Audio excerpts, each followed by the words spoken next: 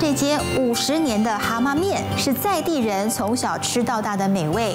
每天一开店，店门口就已经排了长长的队伍，不分平日假日，天天客满，晚来的就没位子了。招牌的蛤蟆面送上桌时呢，新鲜不带壳的蛤蟆至少有二十颗以上，满满的铺在汤面上，汤头喝起来香醇浓郁，面条 Q 弹有嚼劲，吸附了汤汁，味道鲜美。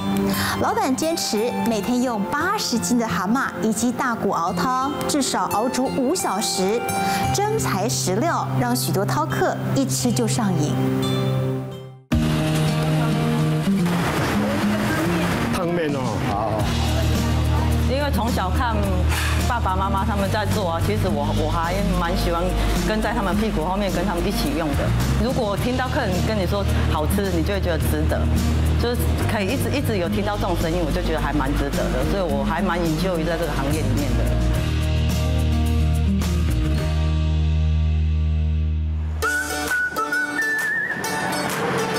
两个米粉，一个板条，这两碗帮我割开一下。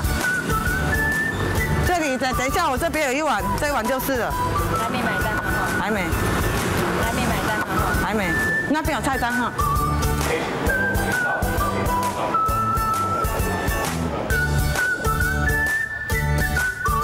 彰化这一间五十年的老店就位在民族路上，外观上虽然不起眼，但招牌的蛤蟆米汤鲜味美，料多实在，是许多人从小吃到大的好味道。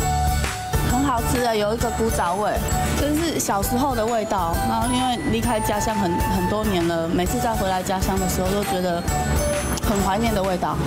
佢點解會記別加重口，啊汤头嘛甜甘甜呀。面的话就蛮 Q 的，对，然后汤很鲜啊。下面煮面重复动作，一碗接着一碗。老板娘黄之荣的手脚相当的利落。小小的店里，每到用餐时间，总是人潮满满。汤蛮鲜的，里面很多蛤蟆啊，它那丸子会爆浆。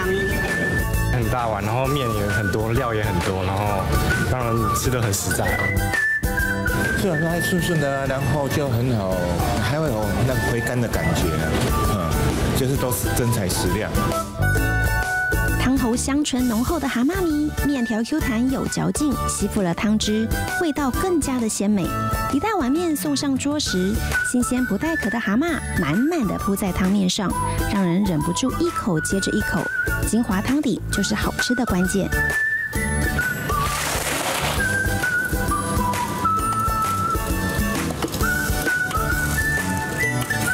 大概一天就是八十斤的蛤蜊嘛，然后配上八十斤的大骨这样子，然后去把它综合成汤这样子，就是今天要卖给客人的量这样子。汤头我们就是用蛤蟆跟大骨，就是每天蛤蟆差不多两个小时左右的时间，然后大骨也是，然后把它们的精华萃取出来之后，然后再去综合，就变成我们的原味高汤。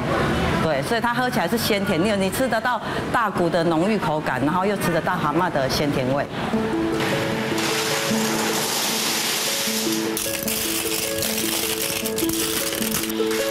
晨六点，黄志龙和先生何信德就现身厨房熬汤备料。做生意要用到的高汤，都得一大早花时间去熬煮。一般面店汤里的蛤蟆仅仅是提味，但是这一回，它却成了灵魂主角。如果只有单纯的大骨汤，喝起来就是油腻。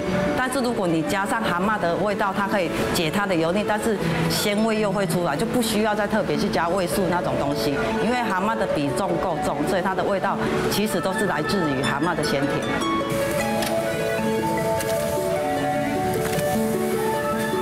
像我们大骨都熬多三个小时。肉才会软，因为我们的肉有要使用啊，就是这个肉大骨肉要剥起来，要使用使用它做那个做一道面，就是骨仔肉面，所以它一定要熬到那么久，它肉才剥得起来，才可以吃啊，不然有一点硬。这个骨头就是这个脆比较多的地方，熬起来它汤还比较有味道。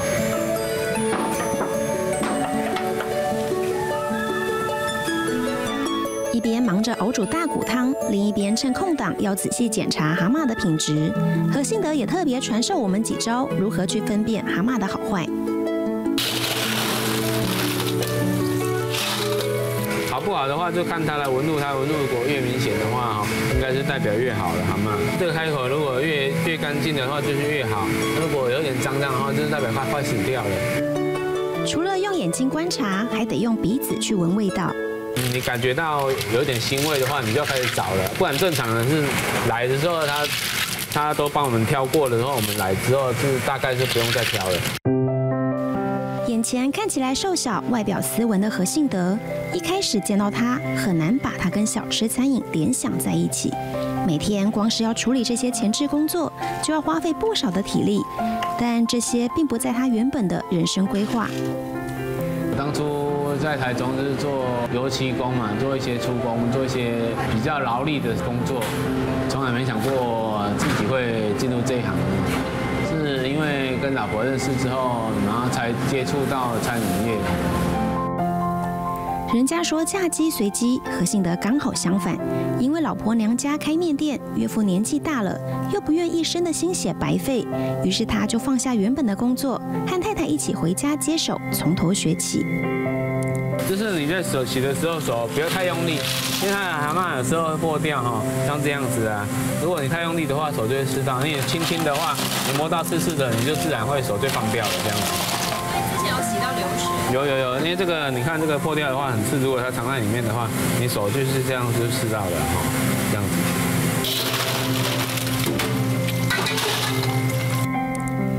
洗过的蛤蟆要立刻用滚烫的热水用力搅拌，让蛤蟆跟壳分离。但总有些漏网之鱼，还需要人工一一检查。我们吹电风扇就是在吹这个壳啊，把它吹凉之后，等一下你才有办法用手挑，因为有有几颗会粘着在壳上面，挑不干净的。每天都要新鲜现煮，一点都不能偷懒，而且不能耽搁，因为早上十点半一到，客人就已经陆续上门。过来一碗，那边有菜单哈。虽然现在已经放手把店交给女儿和女婿，但爸爸黄传天还是放心不下，三不五时就会来店里抽查。米粉就免拉啦，米粉咱咧过线哦，啊豆菜、韭菜安尼，啊时间大大家过定偌久哦，过定哦，啊这绝对爱安尼换汤的吼。听到我们要请爸爸来店里，女儿原本说可以不要吗？因为爸爸超级无敌严格，做不好就会开骂，所以只要他一来，大家皮都绷得紧紧的。哦，免紧张啦，啊，即摆菜较黑咯，菜黑咯吼，啊水爱有滚哦，重重爱有滚，啊个翕无焦，哦，这口味才袂走味去。无啊，你啊翕无焦哦，原则变你就加水，啊加这水嘛无好食啦。这地爱翕无焦，是翕较地翕无焦，这绝对爱翕啊焦，口味才对好食。啊，这较注意，袂使落做伊啊，拢爱照起工做哦。所以应该有九十分的啦。他学那么久，那那么久了，对 呀、哦，对是。因为每天他面来的都不是都一样，因为他有时候面会比较软，有时候面会比较硬，这个都是需要经验的。对啊，可能是爸爸的观念就是觉得那个比较重要的就是还是要自己来，这碗面要多煮十秒也也许，然后这碗今天面它来就比较软烂，所以我们时间就不可以过长。对，这个都需要时间。严格的要求品质，让面店的生意越来越好。但一开始刚接手时，年轻人都会有自己的想法。刚开始的时候，他就说，嗯，什么地方什么地方你要注意，应该注意的，因为我们年轻人都比较挤压哦，比较想说，哎，把事情简单化这样子啊。可是就是，嗯，讲几遍之后你就做习惯，你就是照他以前的做法，这样不要怕麻烦，这样就好了。譬如说在洗蛤蟆，就随便洗，就觉得很干净的，可是就是让他多洗几遍这样子啊，可能类似这样子的。你想把那个过程简单哈，想做比较快一点的话，这样子就会嗯质会比较容易出错。那养蛤蟆里面都有海带啊，是青苔这样子啊，如果你没洗干净的话，会有一点海带还是清汤在汤里面去，就就会被发现这样，就是洗不干净。做这个真的很辛苦，我以前都是三点多三点多就要起来熬汤，熬熬到差不多九点，那时候都一直那个，都我们都真的要很用心啊，真的要真材实料了，我们敢吃才可以卖了，不能说我们不敢吃叫别人来吃，这样对不起良心呐。经过慢火细炖的汤头，以大骨熬煮，加上蛤蟆、鳊鱼为佐料，尝起来具有鲜甜香浓的滋味。剥下骨边肉，可以煮成骨仔肉面，肉质柔嫩，带点骨头的香气，配上蛤蟆汤头，有种海陆双享受的满足感。店里还有手工的招牌鸡卷，炸得不油腻的口感，相当的扎实饱满。自制的福州丸里面包有馅料，大口咬下还会爆浆，深受客人的喜爱。从小细节就要特别注意，这是爸爸希望传下去的坚持。黄志荣也尽力做到最好，不敢砸了老爸的招牌。你如果听到客人跟你说好吃，你就会觉得值得，就可以一直一直有听到这种声音，我就觉得还蛮值得的，所以我还蛮研究于在这个行业里面的。